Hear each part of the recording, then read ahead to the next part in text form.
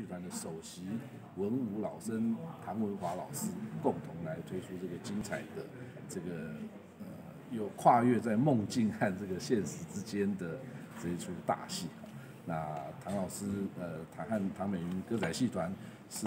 在我们的歌仔戏界永远是走在前端的，而不只是在呃身后的这个传统的这个剧码上面。那同时他们也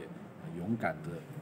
做跨界，还结合科技各种的元素，让大家在这个庭院里面欣赏歌仔戏，便有了一个另外一个层次的这个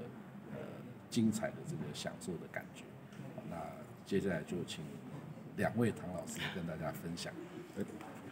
呃，来总监，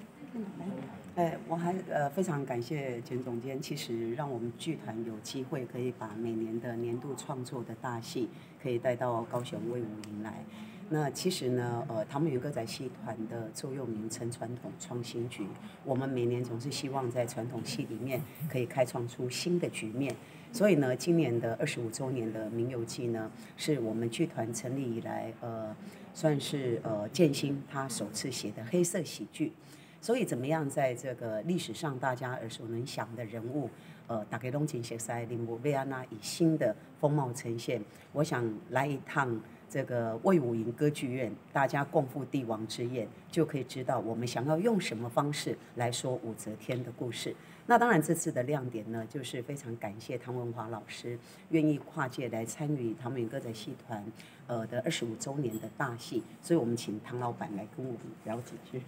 谢谢。呃，唐老师刚刚说了传统创新局，然后我们的京剧新美学，其实两种艺术不同艺术碰在一起的这个火花啊，是让人惊艳的。那么在我们简总监这个大力支持之下。这个这个机会能够在我们高雄呢呈现，把这座帝王之宴呈现给高雄的乡亲朋友们，这是非常非常难得的。希望朋友们进剧场一享这个帝王之宴，谢谢。是，王老师要不要讲一下？是，这次演的女儿谁？